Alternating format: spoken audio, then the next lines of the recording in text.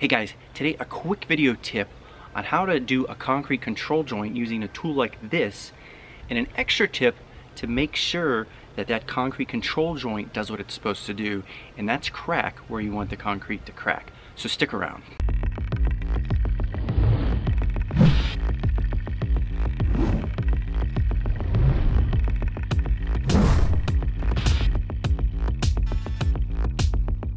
So this one is pretty simple. You actually want to put a control joint in a location where you want the concrete to crack if it's going to crack.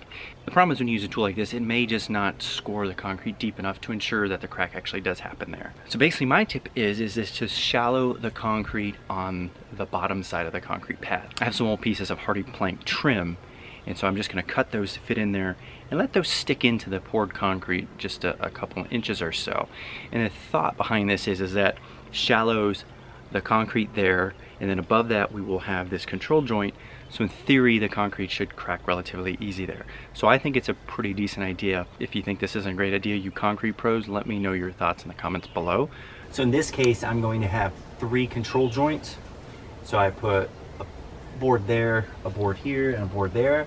And then after I pour the concrete I will come back and simply do the groove joint right over it and then we'll have a relatively short distance between the finished top of the concrete and this so the concrete should snap right there.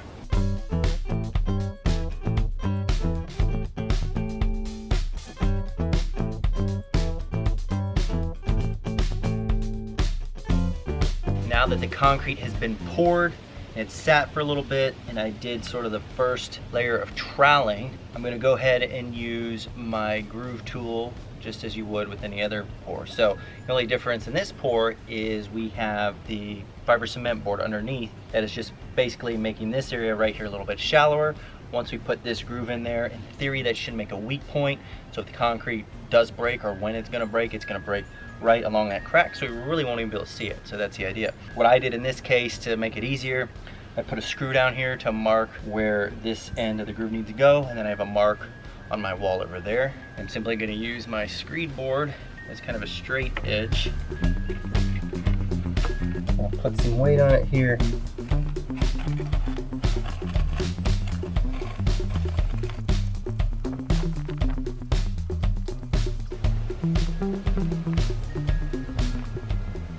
So I think it's gonna work fine and I think it's a good tip to make sure that our control joints do what they're supposed to do and that's crack where we want the concrete to crack when the concrete's going to crack. So thanks for watching. I'm Joe Kistel. If you found this video helpful, please consider subscribing and give it a thumbs up.